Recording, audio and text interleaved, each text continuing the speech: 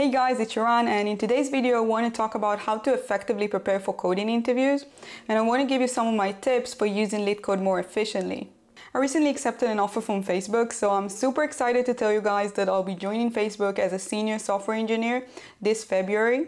So I wanted to share with you guys how I prepared for the coding interviews part and give you some practical advice that you can use today. LeetCode is by far the most important tool you need to prepare for your coding interviews. It's mostly free, it's easy to use, and it provides more practice questions than you will ever need. But before I go on LeetCode, I make sure I know my basic data structures. Make sure you know how they work, which operations they can do, and the time complexity of those operations. If you're an experienced software engineer, you might be tempted to skip this part and go straight to practicing coding questions, but I really suggest you don't.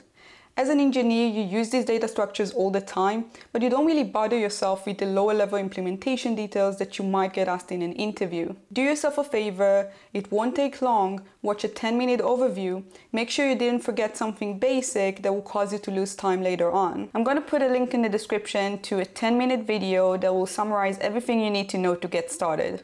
Next thing I do is go on LeetCode. And because there are so many questions, you need to have some kind of strategy that will help you decide which questions you want to solve and in which order. You want your preparation process to be as effective as possible and in the shortest amount of time, so you have to give it structure. Now, the first thing to consider is the difficulty level. Each LeetCode question has a difficulty level that is either easy, medium, or hard. You start with the easy questions, and when you get comfortable enough, you move up to medium. And I suggest you spend the majority of your time on the medium level.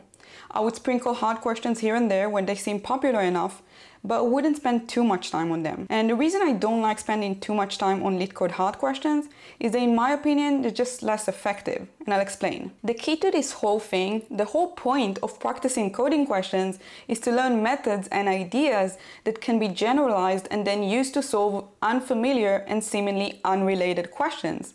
Kind of like how AI works, right?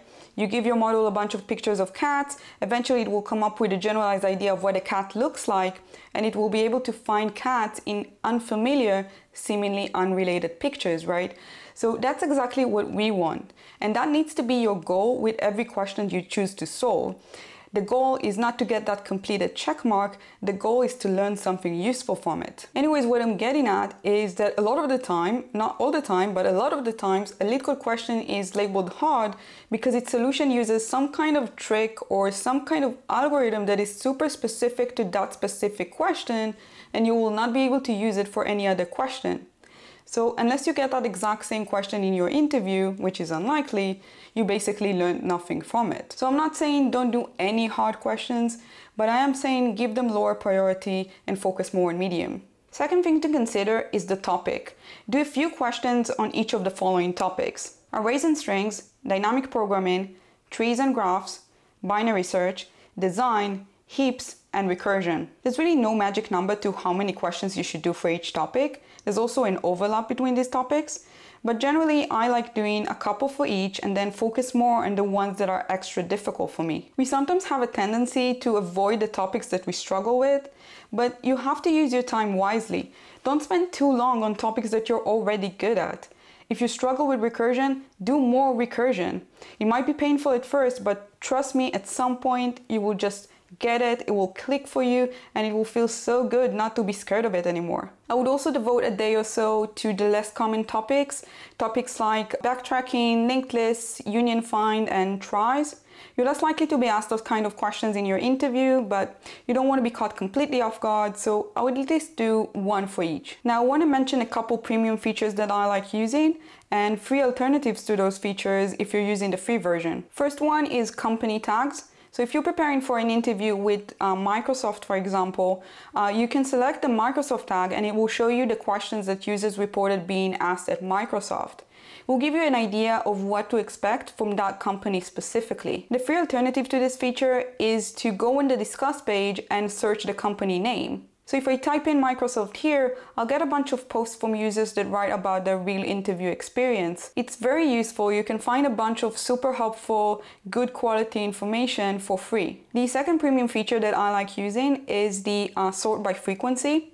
I can sort the questions according to the number of times they were asked in real interviews. Just a little side note here. Just because a question has been asked in many real interviews, I wouldn't expect to get that exact same one in my interview. Those chances are still pretty low. But what high frequency does mean is that it's just a good question. Enough interviewers found it to be a good measure of the applicant's skills, so the methods that you will use to solve this question are more likely to be useful in your real interview.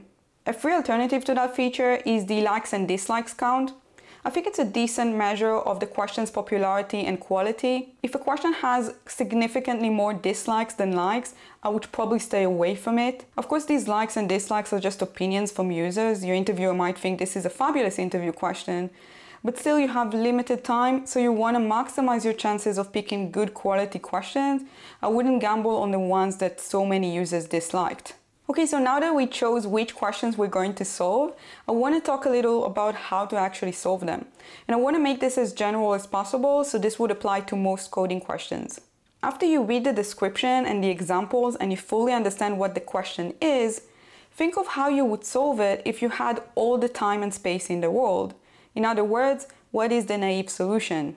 You don't have to fully implement this approach, just do a walkthrough in your head and make this your starting point. The naive solution can be very telling. For example, it can put things in perspective for you. If you can naively solve it in O of n squared, then the optimal solution will for sure have a complexity that is better than that. Probably linear or n log n, right? So it gives you a clue to what the target performance is. It can also clue you into which type of optimization techniques you might need. What is causing the high complexity? Is it caused by an array search? Is it caused by duplicate computations? Whatever it is, once you've identified the cause, you can think of methods to optimize it. Often these causes will be familiar to you. You will recognize them from questions you've solved already. So the force solution can help you recognize these familiar bottlenecks that you already know how to optimize, and that will get you to the optimal solution faster. Next, you should solve it on a few small examples. Make the numbers small and the data structures tiny. For example, if your input is an array, keep the array size under 5. Use these examples to try and find patterns, come up with generalized rules, and test your ideas as they come to you. And if it feels that something about these examples kind of trivializes the question, then these are not good examples. You need to try and find examples that make things difficult. Think of inputs that your ideas might fail at. Think of corner cases and test on that. Now, if it's been half an hour or so and you still feel stuck, you still don't have a better than naive solution, then stop. Don't spend too long on one question. It's fine, you will not be able to solve every question from start to finish completely on your own. Read the solution or watch a YouTube solution video and make sure you fully understand it. Don't just casually watch it and move on to something else try to implement it and submit it yourself. And this is super significant. When you write the code yourself and submit it, it helps solidify the uh, solution in your head and it helps you understand the details of it better. And once you're done with that, think what was the thing? What was the one thing that you missed that could have helped you solve this question yourself? And make a note of it, remember it, You'll be able to use it for other questions. This is how you learn from the questions that you couldn't solve. Next time you'll see a similar question, you'll know what to do. Lastly, I want to quickly remind you that every software developer has to do this thing every once in a while, and we all find it challenging. Seriously, I can't think of a single engineer that will say this process is easy. It takes time, so give it time. You will get to where you need to be soon enough. Okay, so that is it for this one. I hope you enjoyed it. Let me know in the comments if you're going to use any of this advice. Thank you for watching and I will see you next time.